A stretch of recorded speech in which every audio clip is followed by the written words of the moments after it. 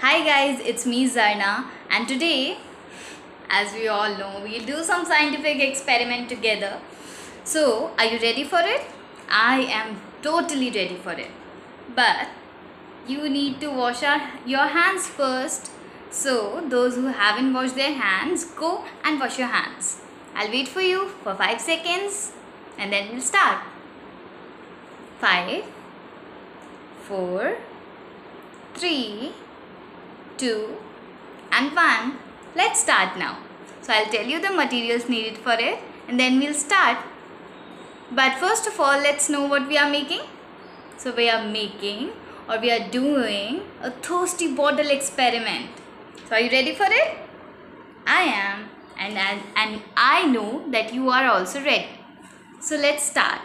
So first of all you need an empty bottle like this it shouldn't have any cut or any hole in it.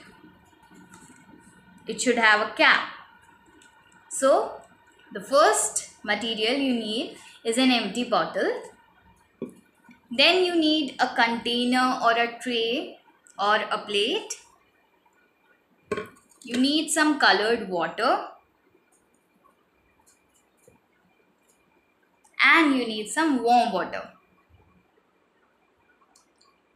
I hope you guys are ready with the materials. Let's start. So I'll put the plate over here and I'll take this bottle, open the cap and I'll put some warm water inside it.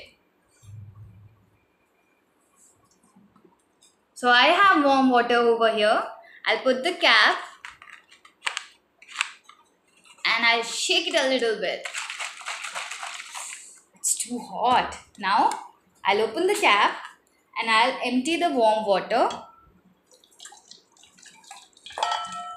and suddenly you have to cap the bottle again. Now the next step is very simple. You have to put this colored water in the container or the plate you are using. Now quickly open the cap of the bottle and put the bottle inside the container. And you'll see that slowly this colorful water will start coming inside this bottle. Let's wait and watch. Let's see how much time it takes. One. Oh, it's already going up. Two. Three. Four. Five. Six. Seven. Eight. 9 and 10. So in 10 seconds, the level of water increased to this. See, the level of water rise this much. That's very interesting, I guess. So this bottle is really, really thirsty. See how much water is it's drinking.